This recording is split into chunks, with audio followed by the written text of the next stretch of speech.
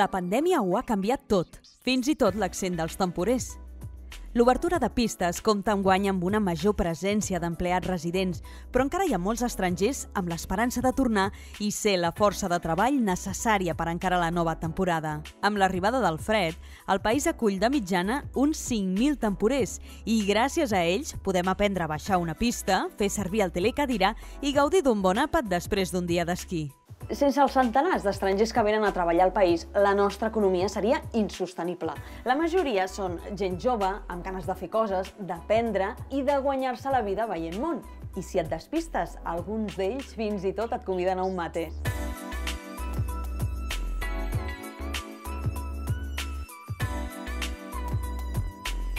Per Andorra els, els temporers realment representen eh, una força de treball avui al dia imprescindible imprescindible perquè sense els temporers Andorra no podria fer funcionar la seva economia turística a l'hivern.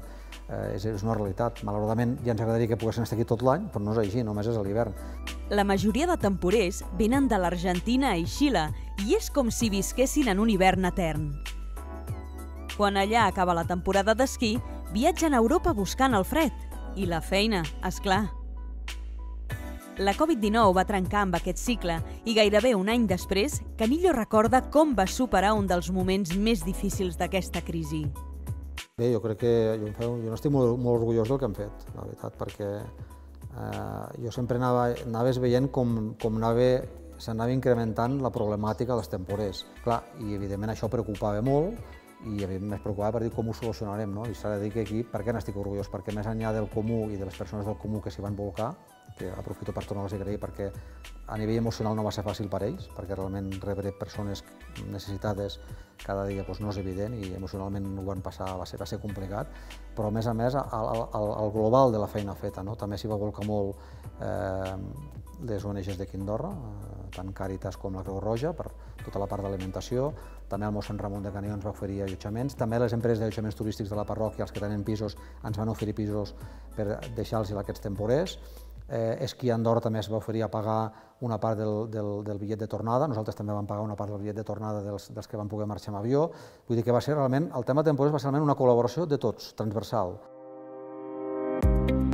Amb la motxilla plena de l'experiència acumulada i unes quotes més baixes que les d'altres anys, s'afronta la temporada creuant els dits i resant per evitar que repetim el 2020. Jo espero que no torni a passar, eh, d'entrada, perquè va ser dur i no hauria de tornar a passar perquè està clar que ara tenim, ja sabem com fer-ho, no? no serà improvisant amb cada minut o cada hora o cada, cada dia de com ho hem de fer. No? Jo reconec que vam anar una mica també des del comú a intentar trobar solucions ràpides. Clar, aquí això ja ho veurem a vindre perquè ja veurem com va la temporada. Si que has de passar, evidentment aquí el, el control és una de les coses que es podien reforçar qui vulgui venir a treballar haurà de portar alguna cosa més que el seu currículum sota el braç. Enguany es demana tenir un bitllet de tornada i presentar una prova negativa de Covid recent.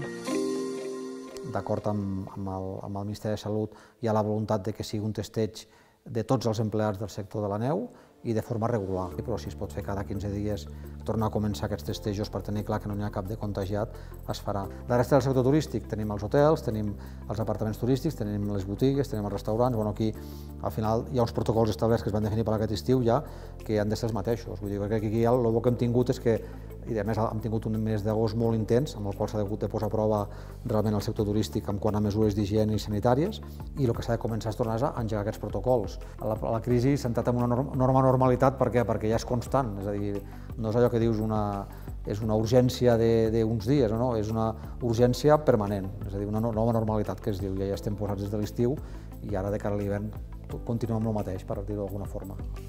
Les estacions estan preparades per gestionar l'emergència sanitària amb controls, mascaretes als remuntadors i limitant l'activitat dels restaurants. Preveuen necessitar un 20% menys de treballadors, especialment monitors d'esquí, un dels col·lectius més afectats per la pèrdua del turisme internacional. S'han reforçat els controls a la frontera a nivell de, de controlar realment el qui entrega al país, eh, això ens costa des del Ministeri d'Interior, eh, s'haurà d'estar molt atents a que el qui entra al país realment tingui un permís de treball. Ah, també diria una cosa, eh, que vinguin amb el bitllet d'anada de tornada, però si el govern argentí ens torna, a dir no, escolta, de moment no volem que tornin, ja poden tenir el bitllet de tornada, eh, que tornem a tindre el problema aquí sobre la taula. perquè molts tenien el bitllet de tornada, ja els que venen, molts que venen ja venen amb el bitllet de tornada de sempre. Aquests de sempre són els temporers que porten anys tornant al país i la seva experiència ha garantit l'èxit de cada temporada. Si bé primer es donarà feina a tot aquell resident que ho necessiti, no hi ha dubte que l'alta qualificació d'alguns temporers és un valor afegit.